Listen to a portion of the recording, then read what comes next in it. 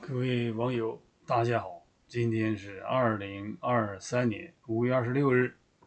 刚才看到一条惊人的消息啊，河北省有一个叫大城县藏屯派出所，轰的一声爆炸了。我还以为这个一场革命武装暴动开始了，一看不是啊，说二零二三年五月二十六号十六点。大城县藏屯派出所民警在对涉嫌非法买卖的烟花爆竹进行取样鉴定时发生爆炸了，那就说明这些民警啊不合格。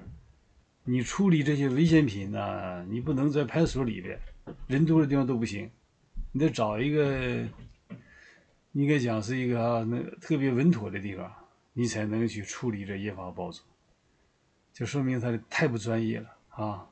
这要是让他们调查谁在那个墙上写打倒习近平，或者在网络上发表文章嘲讽习近平，把这种查的利利索索的，干这种事儿他们都不行，是不是啊？这个也这是个很大的案件呐，又不是个小的案件啊。这证明什么呢？这个民警的综合素质太差。这个说据初步核实，现场涉及十一人呢。你想，现场这么多的人，他去摆弄人那个烟花爆竹。在那个派出所里取样，也不知道他怎么取的，给取爆炸了，是吧？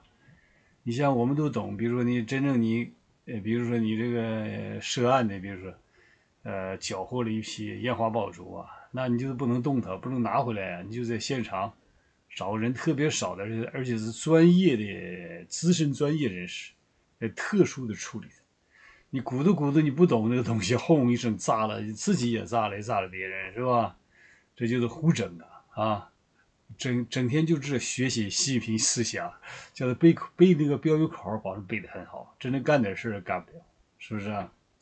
说是目前已经搜救了九个人呐。你看来这个这个是这爆炸的这个严重程度挺比较严重。这次爆炸，你看他搜出了九个人，其中五个人正在救治啊，四个人无生命体征，又死了四个人了，失联俩人正在全力。搜救，这是多少爆竹啊？这到底是真的是烟花爆竹响了，还是由于发生其他事件了，是吧？现在不不太清楚。那么凤凰网还不错，最起码能报道，我觉得多少还有点信心，是不是？还没长期隐瞒下来。呃，这篇文章讲说，事发以后，省市县负责同志立即赶赴现场组织救援，各项善后处理工作正在积极的推进当中。大城区人民政府。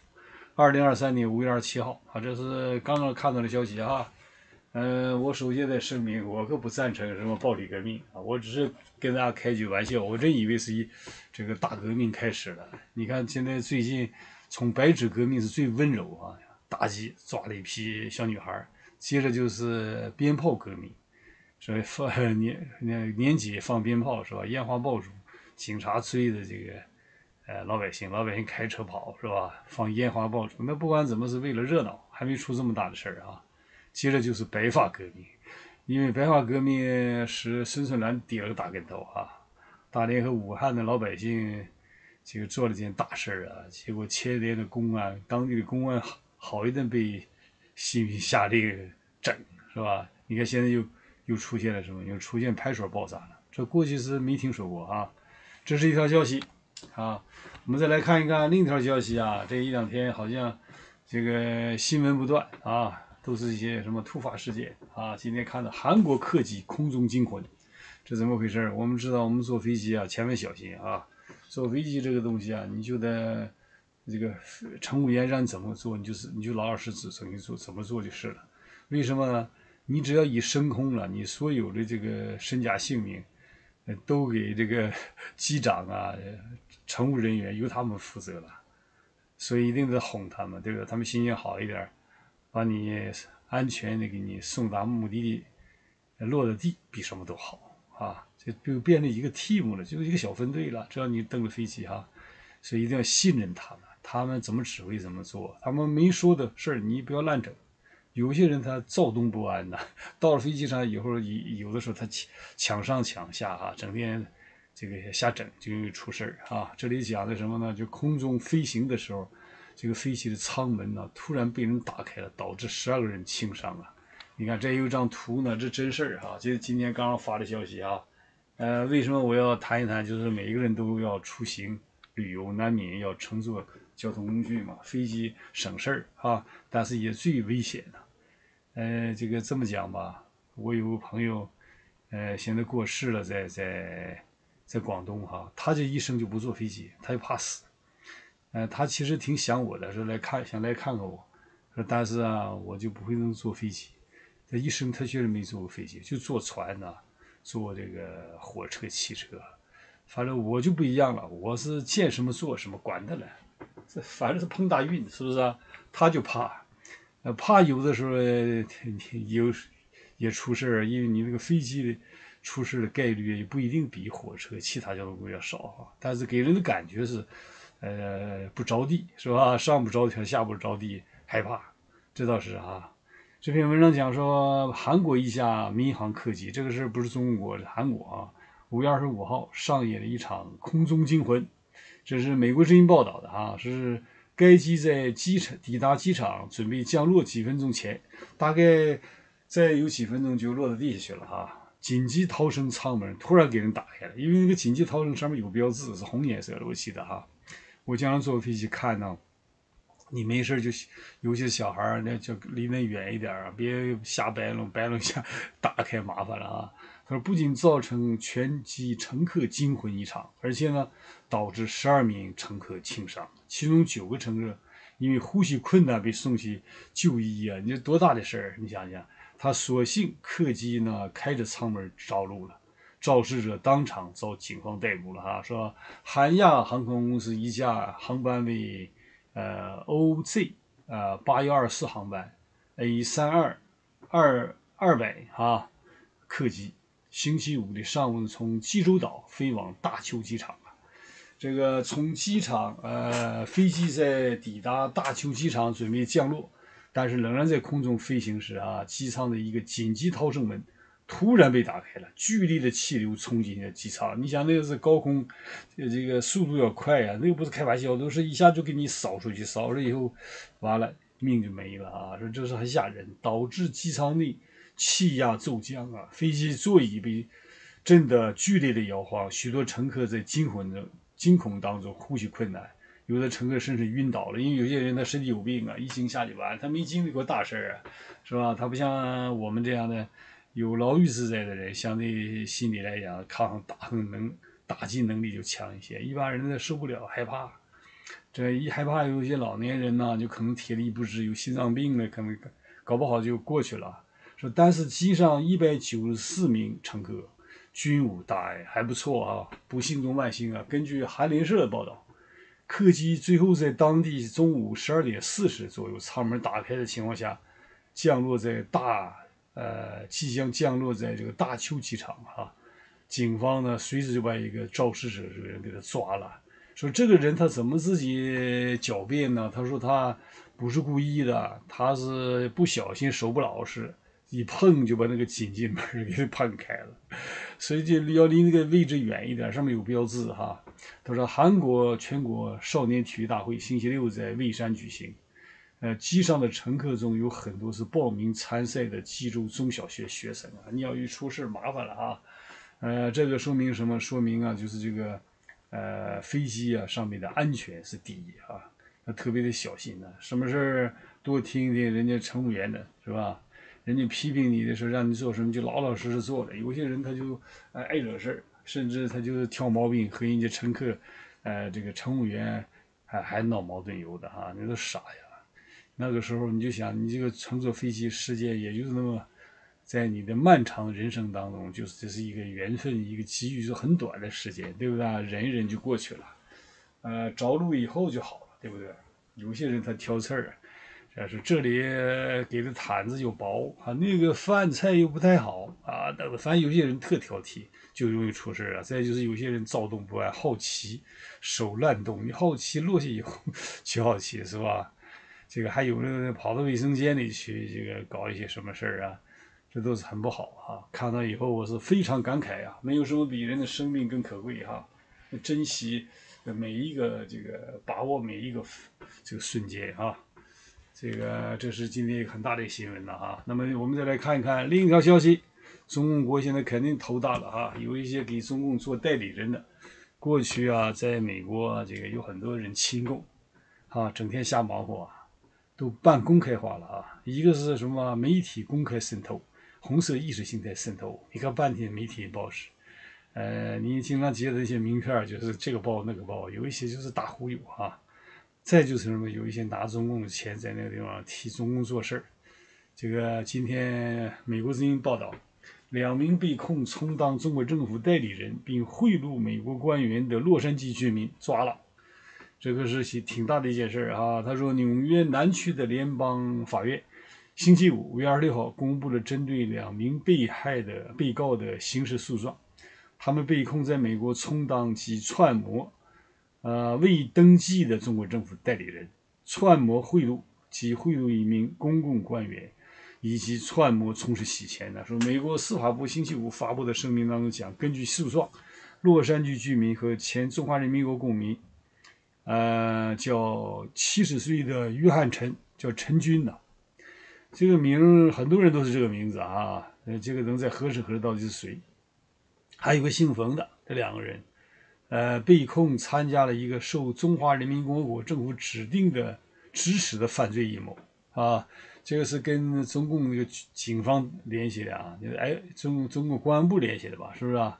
说针对目标是美国境内的法轮功修炼者，就他们这个整法轮功，那就是为中国政府做事了啊，这个是很是这是很大的案子。司法部说，他们两个人星期五在加利福尼亚中区被抓的，以要以前就睁只眼闭只眼，现在不行了。翻脸了啊！美国 FBI 肯定要，啊，我估计还会有一些动作哈。他说，刑事诉讼诉状指出了，至少从二三年的一月到五月份，就姓陈这个人、姓彭这两个人，在中华人民共和国政府指示下，在美国境内展开活动，那就说明 FBI 都盯住了你的邮件啊、你的视频呐、你的 电话等等啊。我估计人家是掌握证据了。呃，推进啊，这两个人呢，中华人民共和国政府镇压法轮功修炼者的行动，就他们拿了这个中共的钱啊，中共就给他们安排的工作，就在美国那个地方去去骚扰啊，或者是或者是这个镇镇压，从事这个政治迫害对的法轮功的学员啊。说司法部讲向他们发出指示的，包括诉状呃当中讲的哈，P.R.C 的官员。那么根据这篇文章讲介绍啊，陈冯两个人在中国政府指示下，试图对美国国税局的崔少仁项目，呃加以利用，目的是剥夺法轮功修炼者经营一个实体的免税地位。呃，据称陈向国税局递交了有缺欠的崔少仁投诉后，冯陈两人向一名据称是国税局特工的人支付了五千美元现金，还答应事后。另有重赏啊，这就属于贿赂了，对不对？政府官员嘛，是吧？以换取这位特工协助把他们的诉状向前推进。这名这名国税局的特工实际上是，呃，执法部门的卧底特工，特特工卧底钓鱼的啊。说按照美国法律，充当外国政府代理人必须通知美国司法部门，但是司法部讲呢，充当中华人民共和国代理人的成。陈冯二人并没有这样做啊，就他想做代理人也行，你打申请，美国也让你搞，但美国在盯着啊。那么司法部长在一次被录音的通话当中，就以前人盯上了以后，那个叫叫 FBI 透露了，说陈明确，陈明确提到了这些，呃，陈呢明确提到了这些贿赂是为了实现中国政府。就是他拿的这个钱呢，他有一个这个目的是什么？他动机是什么？这这里讲的很细，实现中国政府要扳倒法轮功的目的。因为法轮功在海外影响非常大啊，这个人很多，他们是有精神的，因为人有精神信仰，所以很团结。你看办了很多媒体啊，大纪元、希望之声啊、新唐人，哎呀了不得！哈哈。结果我是我刚来那几年和他们这个。有一些见见面啊，这些年来我年纪也大了，呃，见面就是比基本就不怎么联系了哈。但是我认为法律法轮功这个群群体了不得啊，这个确实拿着中国政府的钱对他们进行搞一些这个活动啊，这本身来讲是犯法的，违背美国的法律啊。你看这里讲的非常的详细啊，他说那个呃司法部讲啊，陈和冯这两个人在一次通话中讨论，从这个 P.R.C 官员手里接受指示，删除来自这名官员的指示，逃避侦查，还在讨论说，如果他们两人与国税特工的行贿，呃会发生意外。要向 P.R.C 官员报警。这次通话经法官批准被监听，就是他美国有意思，你要监听别人电话，得经过法官批准。中共国是就是领导一句话啊，领导你比如说薄熙来在大连的时候就是哈，他这个呃怀疑就是这个公安局副局长王永奎啊，呃是于学祥的人，于学祥这先生，于学祥当时是市委书记嘛。过去的市长他有矛盾，这个他为了监听这个别人的电话呢，他就让那个安全局的人偷听谁的电话，就是王永辉的电话。王永辉当时是个是副副副局长，还有个副局长叫王金亭，我都很熟悉，太熟悉那些人。呃，这个你想他多么敢干啊！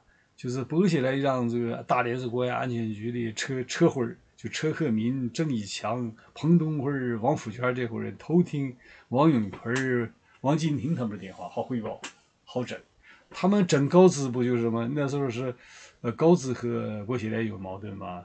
薄熙来要想整高知，就是把这个就监听高知这个秘书啊，这个呃电话嘛，是吧？刘小兵的电话嘛。通过刘小兵的监听他的电话，发现他的太太这个。这个帮，呃，他的太太呢，呃，这个曾经就是给这个刘小兵呢，呃，揽了一件事儿啊，就是有一个间谍判刑这个事儿啊，让刘小兵给说清。刘小兵当时是大连，呃，中级人民法院副院长。那薄熙来不下令偷听刘小兵的电话吗？刘小兵当时是副厅级干部啊，应该是厅级干部还是副厅级？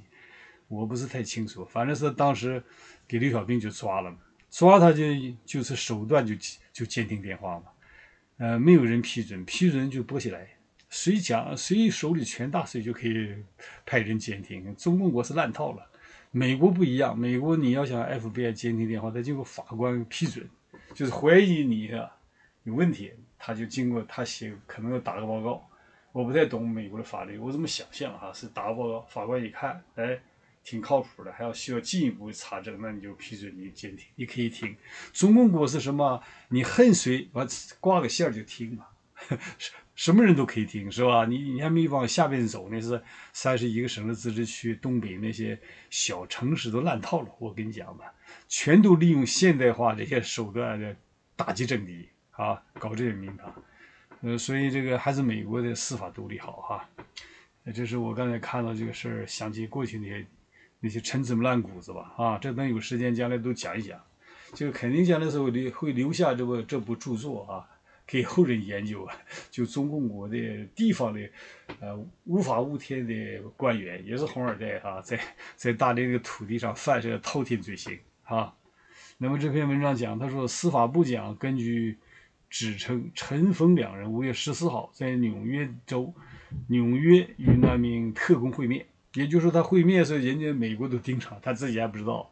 说会面期间，陈给了那名特工就一千美元，他太抠搜，才给人一千美元，他估计他贪了不少，是吧？从北京可拿了一很多钱，完了象征性的给别人一点点，让人去做事啊，呃，超坏这个人是吧？他说，你看，作为部分贿赂的首付，贿赂还有首付，完了说，接着陈接着要表示要给这名特工总额五千美金。来啊，来对被陈举报的法轮功，呃，实体启动审计。而如果举报投诉获得成功，他们啊将把从国税局得到的是这个偿赔偿金啊，这个赏金百分之六十分给特工，那当成个生意来做了啊。有很多干这个什么，在北京骗一大笔钱，完到这边来啊，就是象征性的给一给这个有一些他他利用的人呐。所以，因为现在中国现在就是这样嘛，是吧？习近平钱多人傻好骗，好多人都是这样瞎忽悠啊。比如在国内，哎呀，其实我和魏京生都是朋友，你你你你给我点钱，网上就给你调查一下，保证有这样大骗子，我这么想象啊，会有，然后就就开始渗透，是吧？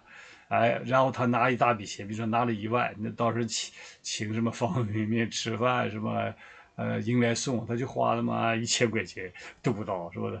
我估计肯定有这样大忽悠，就来回跑，大骗子是吧？国安国安里边也骗子也很多，我跟你讲吧，上级骗下级是吧？就像维稳经费也是啊，都让那那个警察们都啊私分了是吧？就中共国这种政治体制，我跟你讲吧，这个很成问题啊。那么这篇文章讲说，中国政府啊再次企图对在美国这里的批评 PRC 的人士，但是再次失败了。美国司法部长梅里克这个在声明中讲：“我们指控本案被告企图贿赂某位他们以为是国税局的特工的人，就是那个假装的就线人啊，是挖个坑啊这样的人。”说以进一步推进中国政府在美国的跨国镇压行动。说，但是他们企图贿赂的人实际上是执法部的一名卧底特工啊！说什么案子都有啊，讲的像小说一样啊，滑稽可笑。他说，加兰德讲，司法部将继续调查，打破和起诉 PRC 政府将其批评者晋晋升，并将其政权延伸到美国领土的做法呀。就是意思，他们拿了钱，呃，贿赂一些人，让他们闭嘴，就这个意思，是吧？找一些人软硬兼施，让他们闭嘴，这是属于犯法了哈。是我们永远不会停止努力捍卫。人人在美国都享有的权利，在美国确实，美国的 FBI 厉害，美国的这个太厉害了。我跟你讲嘛，你几乎他，我跟你讲无所不在。你就举个例子嘛，咱们驾车，比如说你违反违反交通规则了，是不是故意的啊？因为标志啊看不清楚，不就是晚上？你比如说你出了小错误了，等你回到多伦多，那那边那个罚单就来了。呃，你你要不服，还有这个录像都给都给你保存，你可以到法庭上，有意思上面写的是某某天之前你交这个罚款，一共是八块钱，你要不服再拖到下个月是是十八块钱，你再拖下去就另一个就二十八块钱，我天，再滚动下去怪放高利贷了，赶快给给他这个，赶快寄张支票给这个美国有关部门啊。因为我就是眼睛不不太好，英语又不是又不是太太行，也车开的也不咋地儿，有的时候就是啊，就是看朋友也着急啊，日夜兼程啊，有的时候也 也出错啊。你这个这个路走错了，当时没看这个路标，是不是？然后也回来以后接到了，接到一看，我的天呐，赶快寄给人家。当然没有多少钱，这是应该的啊。你犯错误了吗？就是叫叫不叫犯法了，这是违规，是不是啊？你得老老实实的呀。这个和中国不一样，中国一看这种情况，呃，啪打个电话啊，大队长，宋大队长，你你知道我是谁吗？哎呀，这兄弟这么长时间都没听你声音，啥事儿？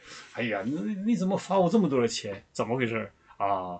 行，你你就算了，国内都是这样，就一句话就完了啊。这里。不行啊！你谁不搭理你啊？这里是什么？法律面前人人平等啊！你什么呃有钱这个有名有利，呃是是有职务，你你都靠边站着。我跟你讲，没人搭理你，是吧？一就是一，二就是二，处罚你的人都找不到，机器处罚你。是不是啊？你你敢说你没有违规？不要紧，有法庭等着你去，你去走叫过堂，是不是？所以看我还是认为美国加拿大好着呢啊，没有没有特权。你看这里，你到那个这个呃交通部门去办事的话，是不是啊？那那你就排队就行了，他前面有个机器，就是那个排队那机器啊，就是打号机的，你在上面一摁，它吱一声，哎，出一张纸，上面写的三八六六三。你就老老实实坐着等着是吧？那窗口的人都在排队啊，管你男女老少，什么局长、书记，什么习近平的派系，这个派系没有人知道，都在排队是吧？没有人问这个男女老少。然后到了窗口，人家办完了就喊三三六四，你你必须得懂是吧？站出来，你就上去就完事儿了，就这么简单啊。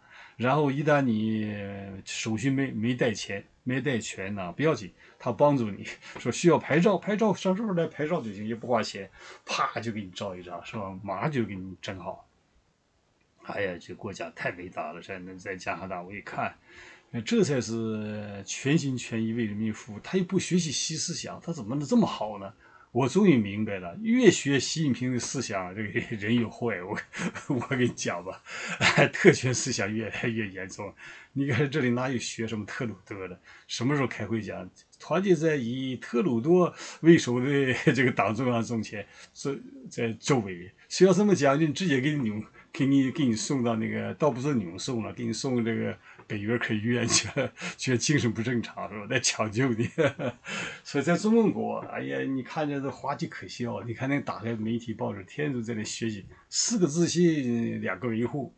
你你说那不是神经病是什么？那就是脑袋叫驴踢了。我跟你讲，踢的不正常，还四个意识，四个自信。人加拿大、美国从来不讲什么几个。自信，你看这个大街上走的走的人哪个不自信呢？都 都很自信，是不是？所以在中国生存呢，我就发现啊，人把这种宝贵的生命全浪费在这些，就是无用功啊，就是耗费这个这个这个时间呢。你说浪费多少时间？都坐那个地方人模狗样，整个书 就在那念经。你要真能念经也行，是吧？你要真是佛教、道教。伊斯兰教还好着呢，是吧？这个习习近平思想就是个邪教，新的邪教，专门来毒害中国人民的心灵，给中国搞到今天的程度啊！我这个扯远了。这篇文章他最后讲，他说呢，中华人民共和国，对美国的民主价值构成的威胁超过任何国家。确实，他想把他刚才这个邪教想蔓延到美国来，美国肯定不愿意啊。说是联邦调查局的副局长保罗·阿巴特在声明当中讲啊，他说，在 PRC 试图把我们的机构和项目武器化或攻击那些在美国领土上人士的权利时，调查联邦调查局也不会袖手旁观。现在美国真是大动作了啊，开始抓了。说陈军与冯林均被控犯有一项串谋充当外国政府代理人。而未通知司法部门并贿赂公共官员的罪名，呃，该项罪名最高惩罚是五年监禁，当然现在还属于呃无罪推定，现在还没讲他有罪啊，这法庭要判，如果判有罪，能判多少年？你看这个文章这样讲的。他们还分别被控犯有一项充当外国政府代理人未通知司法部门的罪名，这个罪名判十年，这就十五年了，是吧？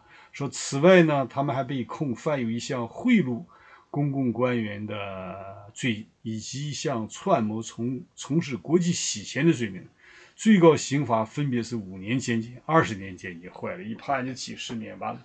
这回在监狱里头开始劳动了。不过他们这个监狱据说这里边条件挺好，说可以上网啊，我不太清楚，没参观过哈。说司法部的声明提到，刑事诉讼中只提出指控，在被定罪之前，假定被公被告无罪。你看美国的法律多么严格啊，多么人性化。就现在你不能说人家有有罪。好，我们来看看另一条消息啊，今天的这个新闻不少啊。中美关系解冻啊，商务部呃商务会呃会谈，商务会谈难呐，防长会谈更难就现在啊，阻力很大呀。这是法国那一篇消息啊。本周二，中国驻美大使谢峰姗姗来迟美国上任。本周四呢，中美商务部长则举行来之不易的会面。似乎都显示中美关系出现某种初步解冻的迹象。我认为就是一个起起点吧，没有什么实质性内容啊。说，但无论在科技领域还是国防领域，美中美关系间互动少，异常异动多，仍然面临严重困难。你想，今天这不又来了抓两个间谍吗？涉嫌涉嫌犯罪的，还没最后定哈。你看，也是针对中共的，对吧？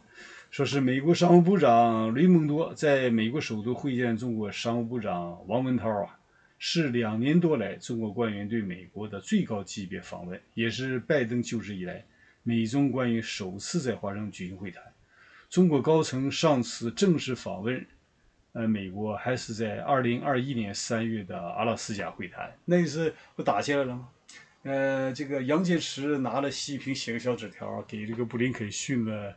呃，半个小时，你想想那个时候，呃，老拜登是多么的这个窝囊，外界都讲，你看美国衰落了吧，怎么样？阿富汗撤军搞这个样，还死了不少人。你说美国完，美国衰，那时候习近平一讲话就是时和势都在我们这一边，啊，你老拜登不吱声嘛，然后从阿富汗撤军，对吧？撤完了以后，开始到欧洲、英国。走了一圈，然后呢，下一步就是印亚太地区了，是吧？韩国、日本，哎，一步步人给你整的扎扎实实，这老拜登确实了不起。我讲这美国办事他不催，等到人家给口都扎上了嘛，俄还俄这核弹呢，二百四个核弹到家门口了。佐世保的航母一来的时候。人们把那脸一翻呢，给你这个台湾这个牌啪啪就给你一个接着一个打呀。习近平脑袋嗡一声，我的天，再不讲是个是在我一边了，是吧？马上告诉王文涛，赶快去吧，是不是啊？告诉媳妇赶快上任吧。这个他也感觉到了啊，这个危机来临啊。说今天这篇文章写的很好，他说间谍气球发生后啊。美中关系急剧恶化了，导致美中高层对话一度终止了。此后呢，华盛顿一直寻求恢复双边高官官员的会谈呢。说是美方对中方最近针对在美中美国企业在华美国企业采取一系列行动表示关注啊。华尔街日报周四报道说，北京呢对美光科技公司的禁令和最近针对在华。在华美国企业采取的一系列行动，包括突袭、拘留和调查，是雷蒙德多此次会晤的首首要议程啊。看来这个的，他这次会谈，可能雷蒙德主要提出什么呢？叫放人，这不能搞这个名堂了。可能那个王文涛讲。哎呀，这个的我得回去跟习主席汇报汇报，我自己定不了主哈，你先别别着急哈，我估计都肯定是在这样讲，实实在在的讲哈，说北京针对美光的行动更激发了美国国会原本强硬的对华立场啊，资深议员要求拜登政府就美光禁令做出反击，众议院外交委员会主席迈克尔麦考尔。这个周三发表声明，中国针对美光的行动表明，中国领导人习近平计划将中国市场作为攻击他人的武器，就用市场来攻击别人，就人质外交呗。迈考尔敦促拜登政府呢追究北京的责任。众议院呢对中共中共中共问题特别委员会的加格达尔则敦促呢拜登政府将中国长新存储列入贸易黑名单，有个长长新存储啊。这个企业，因为，呃，禁售美光产品的最大受益者就是什么？就是长新存储。那么，发广这篇文章讲，他说，《华尔街日报》报道啊，据知情人透露，呃，拜登政府一直在考虑一个报复方案，是堵住对中国信息技术集团浪潮集团的限制漏洞。你看，中国现在是是企业不少啊，各种名字都有啊。说这种漏洞使英特尔和 IBM 等美国公司能够继续。向中国浪潮的附属实体销售产品，美国商务部今天早些时候将浪潮列入出口黑名单了，但没有具体纳入浪潮的所有关联产品。这些关联产品从事云计算、数据中心和人工智能等业务。啊，说这些意味着美国公司可以继续向这些实体销售产品，而无需寻求政府的许可啊。这篇文章讲到，王文涛说前往底特律参加亚太经合组织讨论。呃，论坛，并预计将和这个戴奇会面啊。看来这篇文章是在这之前写的，现在戴奇他已经见了。彭博社报道讲，预计中国的经济胁迫和重新调整供应链问题将提上亚太经合组织论坛的议程了。就将来这个这个脱钩啊、锻炼这些问题啊，也涉及到了，应该是是不是啊？而七国集团 G7 领导人几天前在日本广岛峰会上已经采取。呃，已经寻求采取一项措施应对中国的胁迫，并表示将在与中国的经济交往中去风险。去风险就是变通的讲法，就是脱钩脱钩了。将来方向还是要脱钩的啊。他说，科技领域是美中竞争关系的主战场，美中双方目前都特别关注半导体领域啊，从而为汽车到武器的一切经济竞争提供动力。拜登政府呢，限制向中国出口先进半导体和生产设备，阻止啊，以阻止的北京利用先进芯片发展军事和监控能力。不久前，日本和韩国、荷兰先后宣布跟随美国限制芯片技术和设备出口。那肯定，呃，王文涛和他提出来了，和这个雷和这个呃美方的代表啊，肯定是。雷蒙多也好，还是戴奇讲的是，你们不能总限制我们这个芯片的事儿，看能不能缓一缓。你们更不能联手日本、荷兰欺负我们，围围堵我们，是不是啊？呃，那肯定这个这个事也很难达成。本人认为啊，这次他这次见面呢，就是象征性的吧，也就是表明双方还要谈一谈。但是谈一谈可能收效甚微啊，中美的大方向是走向走上了敌对啊，除非这个期间中国发生军事政变，习近平政权被推翻了，新的派系上来了啊，或者共党垮掉了，就这两个结结局可能还能好一点哈。好，谢谢，再见。